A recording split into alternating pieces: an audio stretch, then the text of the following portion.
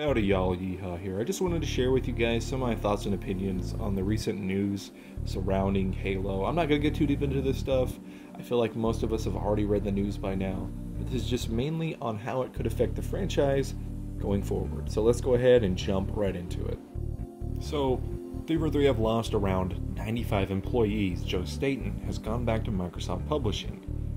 I'm confident that the team handling the live service of Infinite will still be able to do so, for the next couple of years, I believe we might have a situation similar to Halo the Master Chief Collection, and hopefully we're able to get a new roadmap with the release of Season 3 that is still set to release in March.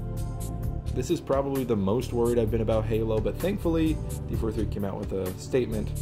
Halo and Master Chief are here to stay. 343 is going to keep making Halo games, and I like that they throw in epic stories. I like that that line is in there. Gives me um, hope that they aren't completely abandoning story content.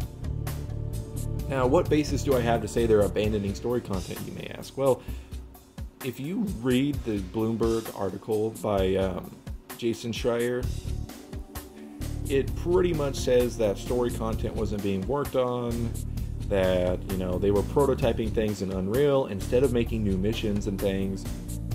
And another, I think it was another article he mentions that campaign DLC was like never in the cards. It didn't get past discussion. So that to me kind of says they didn't have an interest in pursuing story content at all, and um, that the live service multiplayer was going to be their bread and butter. If you want the quote here, let me go ahead and pull this up on screen. Quote, developers were making prototypes on the Unreal Engine and pitching ideas for new Halo games rather than working on new missions for Halo Infinite. Many of these developers were laid off this month, and the company isn't actively working on new story content, the people said, end quote. Yeah, that's pretty much confirmation that they weren't going to do story content for Infinite. It wasn't in the cards, and uh, they were busy prototyping in Unreal, which is what I'm going to talk about next the switch to the Unreal Engine. Apparently, as per that article, which I'll link in the video description, Halo is going to be switching to Unreal Engine.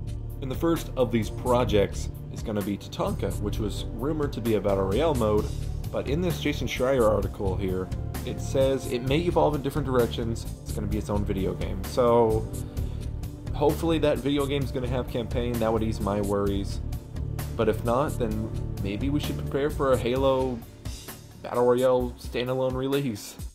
I don't know. I, I want to wait for confirmation from 343 from Microsoft. I don't think we're going to get like 100% confirmation, but I would like some kind of information before I go around saying this is true or that is true or this is for certain. But I will say that Jason Schreier is a pretty credible source when it comes to these things. I'm more likely to believe this is true than false, if that makes sense. My only other concern is Halo not feeling like Halo in the Unreal Engine. And that's not to say there aren't benefits for Unreal, right? If the developers are able to make content more efficiently, more effectively, at a better pace, then yes, I could definitely see that why they'd want to switch to Unreal. We'll just have to wait and see. It's one of those things where you really can't do much until you see it, until you play it. So I'm gonna wait for more info to come out before I make a longer video, which is why this one is so short. Hope you guys take care of yourselves. Let me know your thoughts and opinions on Halo potentially switching to Unreal down in the comments below. Let me know if you have any other video suggestions. I'm open to them as well. Take care, guys. I'll see you all in the next one. Yeehaw, over and out.